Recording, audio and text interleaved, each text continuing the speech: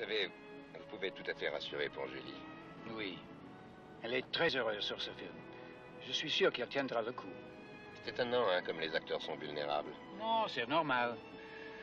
Tout le monde a peur d'être jugé. Mais dans votre métier, le jugement fait partie de la vie, dans le travail et en dehors du travail. Eh oui. Dès que nous rencontrons quelqu'un, nous nous demandons qu'est-ce qu'il pense de moi, est-ce qu'il m'aime. Oh, je pense que c'est la même chose pour tous les artistes. Quand Mozart était enfant et qu'on lui demandait de jouer, il répondait Je m'en vais te jouer tout ce que tu voudras, mais dis-moi d'abord que tu m'aimes. Et puis, c'est le métier où on s'embrasse le plus. Vous avez remarqué, n'est-ce pas? Oui, on passe son temps à s'embrasser. Il paraît que la poignée de main a été inventée pour prouver qu'on ne portait pas d'armes, qu'on n'était pas ennemis. Mais pour nous, ça ne suffit pas. Il faut montrer qu'on s'aime. Mon chéri, my darling, my love, tu es magnifique.